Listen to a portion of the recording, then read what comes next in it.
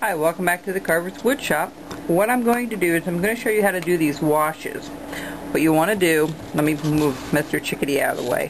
This is as far as we've gotten already. Um, I went back over and burned a little bit here and there where it was really, really clogged up. So what we want to do is we want to put a little bit of uh, burn umber on a plate. Just a little, little dab of it there. You want to take your water, you want to take a brush, a fairly wide one. I finally bought a new one, so kind of excited about that. I don't buy brushes very often. I usually use the same ones pretty much. What you want to do is just take it and you want to just kind of get it into a, um, a thinner consistency as you see what I'm doing here. That's probably about right, right what we have there.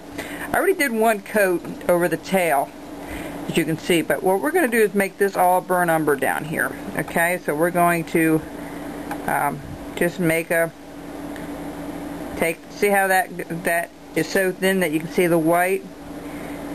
Now this is what we call the wash that they talk about. And we're going to do maybe five, six coats like this.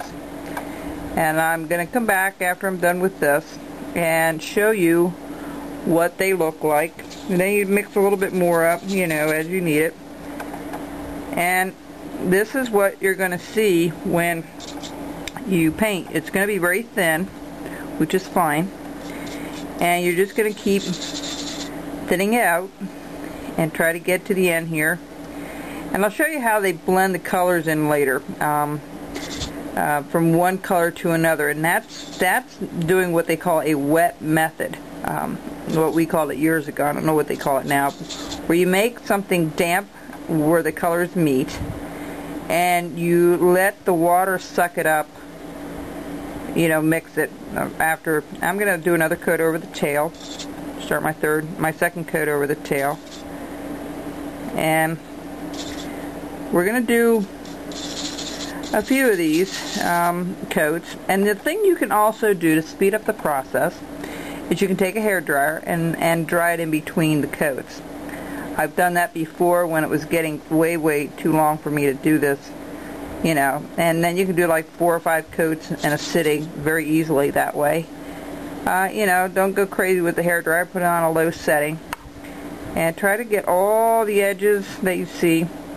See how we're painting this up?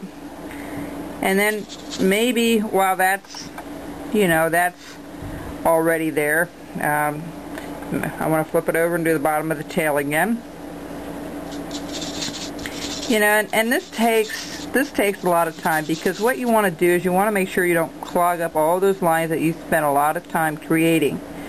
And I know with the gesso, I put a little notation on that video that you could water that down uh, before you, um, you know, water it down a little bit. They recommend that you don't, but I found it so thick, that particular brand I bought uh, was so incredibly thick. And I also use the gesso for the white and the face and the gray. So I'm going to mix some of this gesso along with as a white paint. Some people do, some people don't. That's your preference. You can do any way you like. And as you've been learning, everybody does their own thing, and there's a way of doing things, but you have your own method of doing things, and that is perfectly okay. Now, I'm going to let that dry a little bit. And you want to try to get the it pretty even all the way around.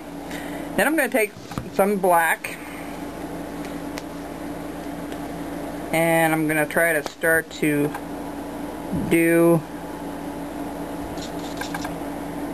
some of the some of the head here and the chest. I'm going to show you a couple things there. Let me clean this out. I'm going to need new water, I can see that. That's okay. I get a towel here. Always have towels available. Have a hair dryer available. What you're going to do is you're going to water this black down a little bit just like you did the other. To a different consistency. I know I got a big blob here. This will last me a while. What you want to do is you just want to start on the head, halfway down the eyes. And this is going to be our first coat. Okay? You're just going to take that all the way across just like so. Okay. And then you're going to take it all the way to the top. And the bill, you're going to paint with a straight black. That's going to be fine to paint that bill with a straight black. So this is will be our first coat on the head. You know, and then we'll do a couple more coats. We'll get this covered. It will take a while this way, folks. Uh, you need a lot of patience with it and persistence. But, um, and then we're going to do the chest area a little bit on the bottom. Get that started. Well, let me do the bill while I have it here. Just to make it look like we're getting somewhere. And we're going to do the chest area.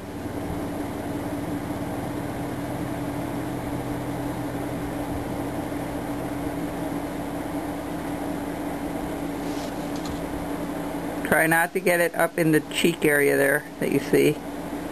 Just a little bit like so. See how it's spreading? See how that's spreading because that's perfect. That's exactly what you want. And that's okay because it's, it's not an even cut with feathers. So there's going to be a stagger, you know, it's staggering here and there. Okay, so that's how that blends in. Meanwhile, the top is almost done. So let's go back, and it's okay using that water. We're going to make it a little bit darker here for the top anyway. We're going to mix a little bit of black with the burnt umber for this part here. So let's do that.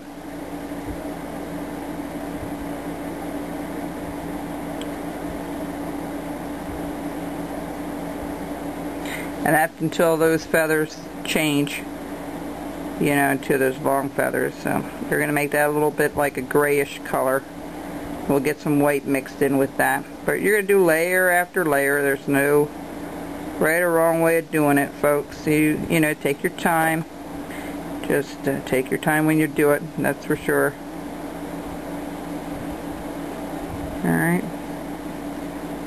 So that's kind of our second layer already there. Let's go back to the tail and do another one on the tail. That's a little bit, you know,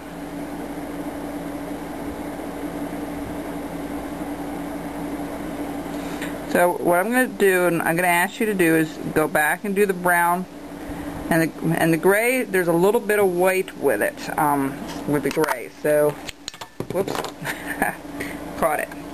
Uh, we're going to take a little bit of white, just like so. We're going to put it there, mix a little bit of this water in with it. And we're going to water it down. I'm going to change my water here in a little bit. And then what we're going to do is we're going to just keep going over this area here. Okay? We'll get that like a grayish brown That's all you're going to do is keep going over it and over it and over it until you get the right colors in there. And then when we come back, we'll edge everything with white. Okay, so you're going to make this like a brownish white. I mean a brownish, um, brownish gray. And then this is more of a darker brown. And then this one also the same color. Okay, so I'm going to go back to the black again. I know this will be a little bit longer video. But you just keep switching it back and forth, folks and you could just keep putting another layer on okay until you get the right until you get the right color in there. Alright so I'll see you in a little bit. Bye bye